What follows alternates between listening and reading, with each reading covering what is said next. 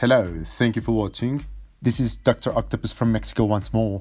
Uh, perhaps this time I should introduce myself as Dr. Avila or Dr. Avila, that's my surname. I do this because hopefully it will be useful for other colleague neurosurgeons one day. And I say hopefully because there are several ways to train and I found this method outstanding for the use of the drill. We never know.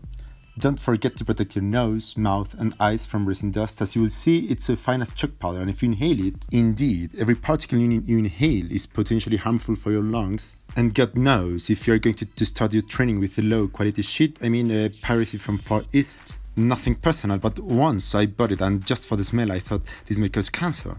I'm not uh, pulling your leg. So, uh, try not to damage yourself too much and wear an appropriate mask. Second, we use loupes for surgery and they increase the size of the objects many times. In the case of mine, they adapted for 3.5x, which means you see things 3.5 times larger than with naked eye. And they've got a focal distance of 40 centimeters, which means that 40 centimeters away, you see things 3 point times uh, bigger as usual. Is that concept clear? Well, I simply love them. It will also prevent your eyes from having contact with the resin dust, at least uh, partially. I would strongly suggest you to buy them if you want to take uh, uh, things to a whole new level. However, it's not necessary, it's up to you. For this video in particular, I did not use them because uh, my mobile was on the way. So don't worry if you can get them, you will see how amazing things uh, can result even without the loupes. The drill. I love Dremel with extension. You can use any type uh, that you like. I recommend this option because you can grab it more easily and your moves uh, will, will, be more accurate. Besides, um, it won't make uh, your hand tremble due to the mechanical isolation via this steel cable. I've been a while working on this and uh, it's the best option I could find. At first, uh, we will only use this tip, which is not for sanding, carving or engraving. It's just uh, for making burr holes. And to know 10,000 things, no one will first. So here we go. I chose for this tutorial a few amazing heads. As you can see, I, I picked Tyberos, the, the, Red Wake, and Captain Korvydae from the Raven Guard. And uh, let me show you what we intend to make at the end of this tutorial. I think they will match very well. Amazing, isn't it?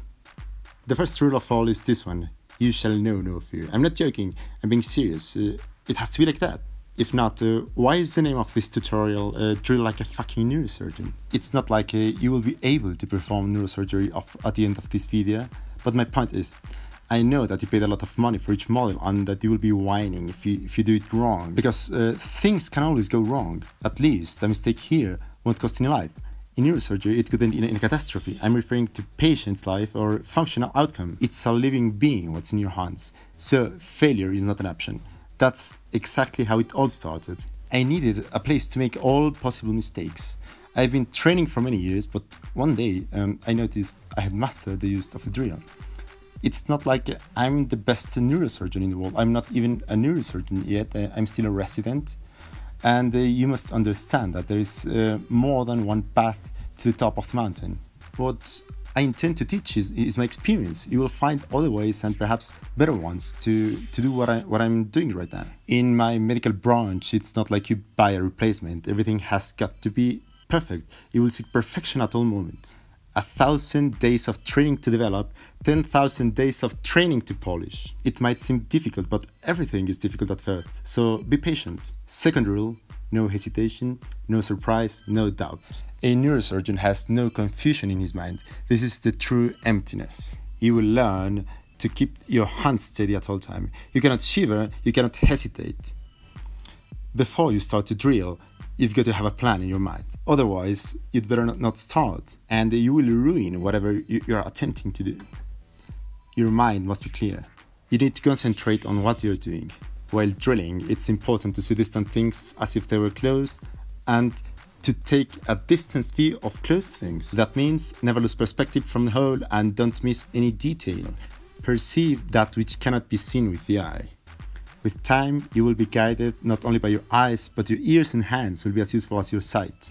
In conclusion, if you want to drill like a neurosurgeon, first you have to think like, one.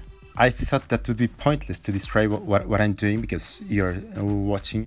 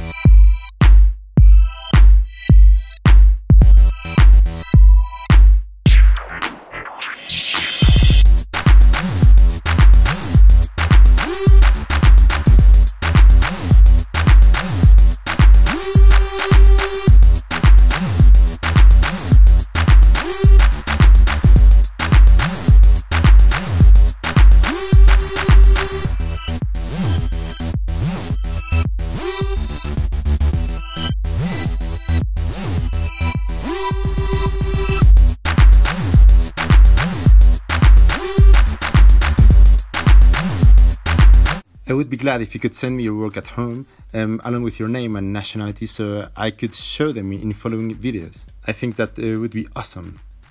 So please leave comments and suggestions about the format, uh, content or whatever you agree or disagree. As many of you know, this is my first tutorial and I hope it to be the first of many so you can master the manual drill someday. So, um, see you next week.